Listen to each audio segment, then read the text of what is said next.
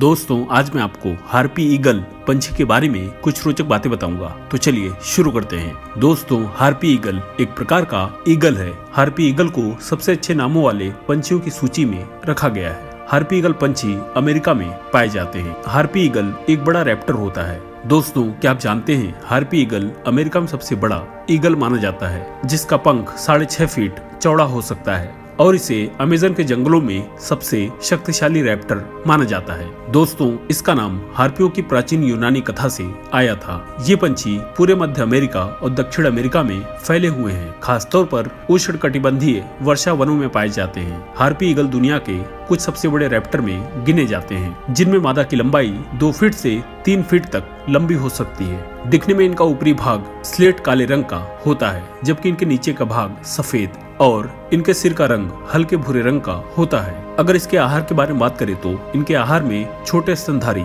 जैसे बंदर और उसके साथ ही साथ घरेलू पशुधन और छोटे पंछी शामिल होते हैं। दोस्तों, इनके निवास स्थान के नुकसान के कारण हार्पी ईगल को एक निकट संकटग्रस्त प्रजाति के रूप में सूचीबद्ध किया गया है। इसका शिकार करना गैर कानूनी माना जाता है। अगर इस पंछी के वज़न के बारे में बात करें तो इस पंछी का वज़न करीब 10 से 15 किलोग्राम के बीच हो सकता है। अगर इस पंछी के जीवन काल के बारे में बात करें तो ये पंछी करीब 10 से 20 साल के बीच जीवित रहते हैं। तो दोस्तों, ऐसी जानकारी के लिए वीडियो को लाइक करें, चैनल को सब्सक्राइब करें। धन्यवाद।